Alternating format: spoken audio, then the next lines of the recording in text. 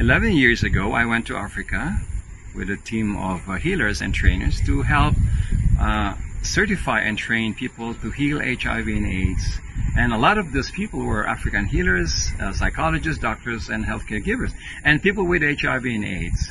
They came to my workshops, uh, and we covered South Africa, and Durban, Cape Town, Johannesburg, and even Congo, Mozambique, and even, of course, in Brazil. And uh, I have revealed a lot of the secrets of healing HIV and AIDS to be able to stimulate the willpower of HIV that are like fading away in terms of the wasting period so that they will have more will to survive and live a better quality of life.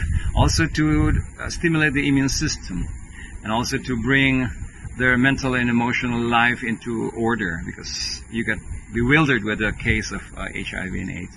So uh, there was a very successful response to the African uh, group, and uh, I have even a video you can watch that gives you a lot of testimonials of people who were healed by HIV, including orphanage uh, directors who are have claimed that uh, we have uh, been healing a lot of uh, the HIV cases in their orphans.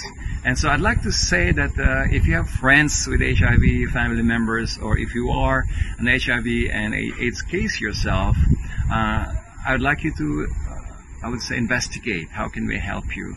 Uh, anytime. So please do contact us. Uh, we can share to you the secrets of the energy medicine that will specialize on healing HIV and also improve the quality of life for uh, this uh, case. So, well, we can share to you our 11 years of uh, experience studying in Africa. I've been doing it also in New York and also in Asia.